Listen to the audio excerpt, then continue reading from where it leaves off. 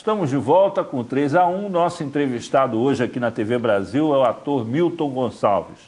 Participam da nossa conversa Rosa Eskenazi, professora jornalista, professora da PUC do Rio de Janeiro, e Ivani dos Santos, que é pedagogo.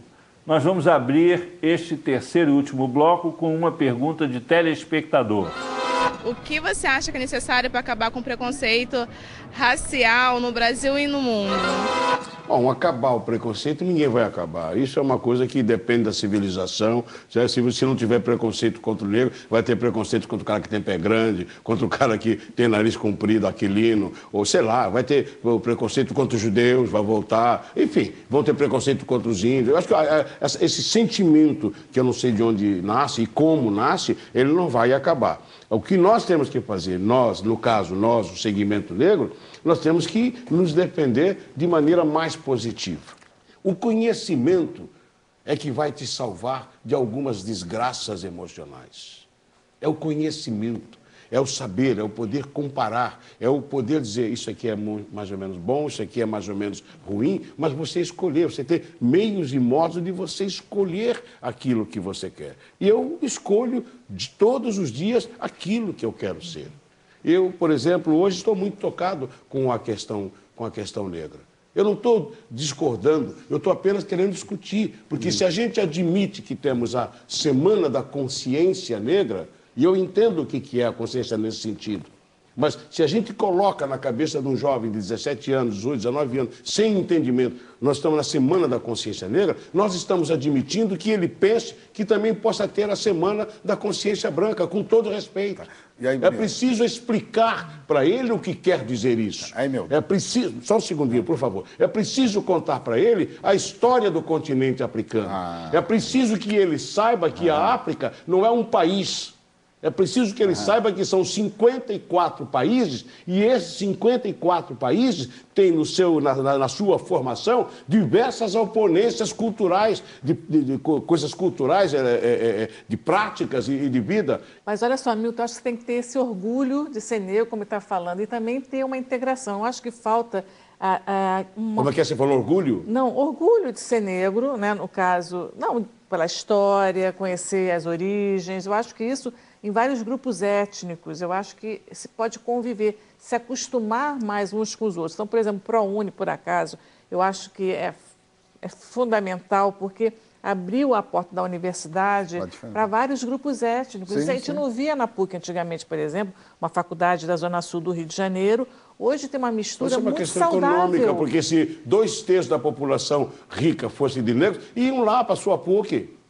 Não. Podia, é que é caro. Quem pagou os estudos do meu filho foi minha mulher e eu. Sim. E é caro. Você educar uma criança, seja ela branca ou negra, é hoje, é muito caro. Sim, mas é hoje é muito o ProUni favorece esse, esse convívio. Eu acho que isso está sendo muito saudável para todo mundo. Eu, eu, eu conheço, eu ouço preconceito de negro contra branco e branco contra Sim. negro, igualmente. Quer dizer, os preconceitos estão espalhados em todos os lugares. Mas eu acho que se a gente conversar e se a gente ouvir o outro, eu acho que a gente pode ver não, todos nós somos iguais, quer dizer, o cabelo pode ser diferente, a cor tal, mas eu acho que isso é uma coisa Essa positiva. Essa é a sua visão. As parceiras suas, que professoras, professores, diretores lá da PUC, pensam assim? Não sei. Bom, é... Tem algum padre que é professor negro na PUC? Tem? Não sei. Então, veja bem, é, a minha questão, justamente que você estava falando, que ela também está falando, a professora, me remete a duas coisas.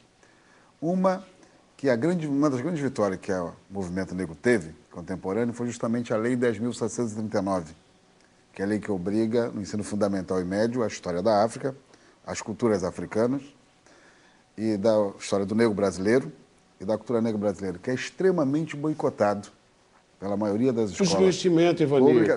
Ninguém conhece. Falar, ninguém bem. conhece a história da África. Já bem, mas é boicotado até a aplicação. Isso é uma coisa. E a outra coisa que eu gostaria, eu como você... não, é, não é só isso, não. É professor. É isso. O professor, professor não sabe. Não, mas o MEC, o MEC o tem... professor ignora e é ignorante, Sim, não sabe. O MEC tem que fazer um esforço para formar pessoas. Essa é a questão.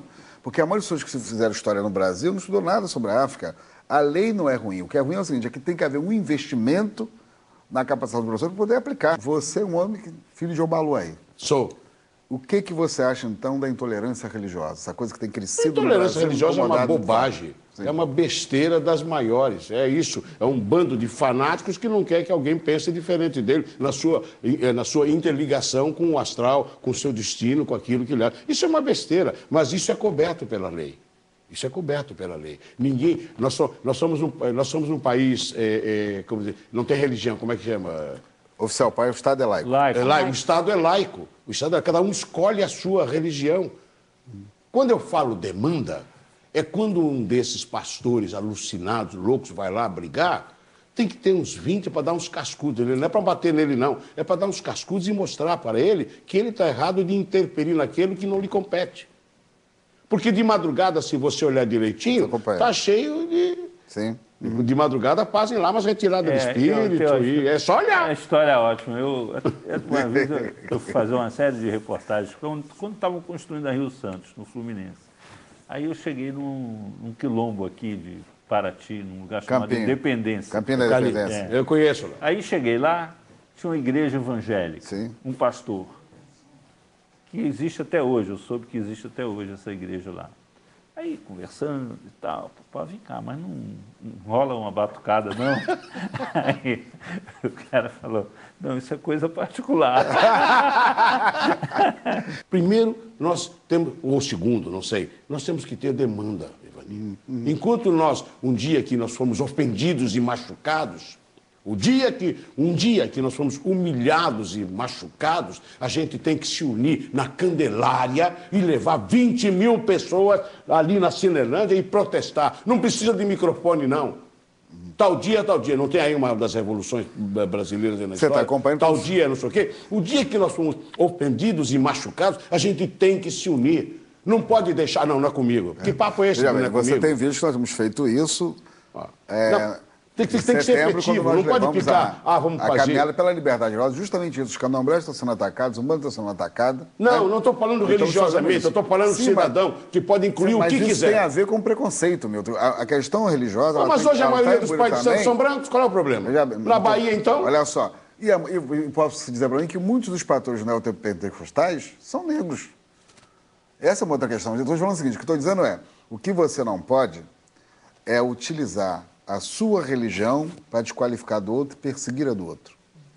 Isso não é religioso. isso- é um ato político. Eu Isso concordo não com é um você, mas ato isso é mais religioso. velho que andar para frente. falar. Mas isso não eu não é um- posso usar o que eu tenho para agredir a quem eu não. Sim, mas que é indefensável. é, não é um ato religioso. Aí está prática- naquela questão que, que ele colocou, justamente o seguinte: como é que você pode manter a sua identidade, né?